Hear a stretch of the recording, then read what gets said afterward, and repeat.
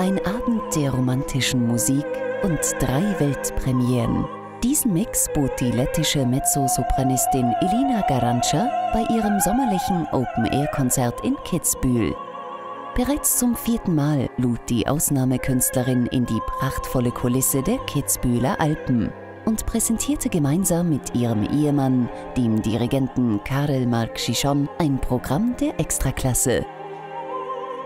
Wirklich eine zaubertraumhafte Atmosphäre. Von allem wirklich, wenn man über den Köpfen schaut und hat man noch diesen halben Mund über den Köpfen und über den Herzen. Also wirklich, wirklich unglaublich schön. It's the public that really makes the atmosphere and the public here is very special.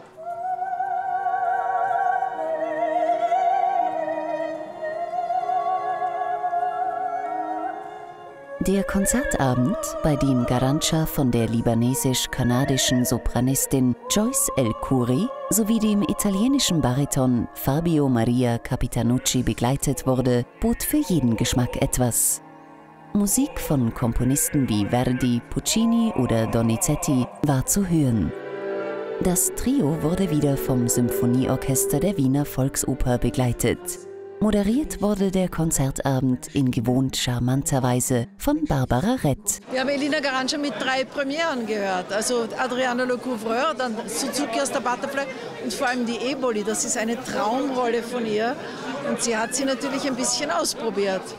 Und das ist schon, äh, das sind die Rollen, in denen wir sie in Zukunft sehen werden. Also das waren besondere Momente, das heute hier so ein bisschen zu erleben. Knapp 3000 Gäste genossen den lauen Sommerabend im Kitzbühler Pfarraupark und ließen sich von den Darbietungen der Künstler verzaubern. Sensationell. Also bisher war mein Favorit immer das, äh, Konzert in Schönbrunn, das Sommernachtskonzert, wenn es schön war dort. Aber das schlagt jetzt nochmal alle Erwartungen. Die Location ist ja ein Knaller. Die Künstler sind sowieso sensationell. Der, äh, das Orchester spielt ja, wie sagt man, äh, umwerfen, das ist ein Hammer, das ist einfach toll. Das Ambiente da und äh, ist einzigartig, also wirklich ganz toll. Das ist ganz einfach ein Traum und was ich so toll finde, ist, hier mischt sich äh, Sport, Kultur, das zeigt das volle Ambiente und die volle Kraft, die Kitzbühel hat. Jemanden besseren wie Elina Garanca kann man sich nicht wünschen, mit ihrem Mann als Dirigenten und ihren Friends dazu. Und wenn man das heutige Konzert nimmt, boah, einfach, ja, es war, es war einfach wundervoll. Schon jetzt freut man sich in Kitzbühel auf die fünfte Auflage von Klassik in den Alpen am 8. Juli 2017.